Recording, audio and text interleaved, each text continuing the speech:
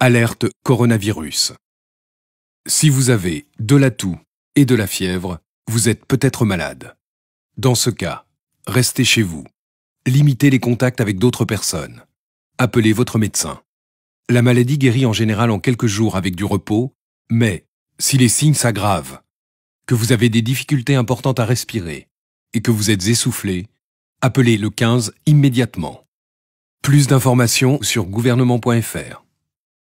Ceci est un message du ministère chargé de la Santé et de Santé publique France.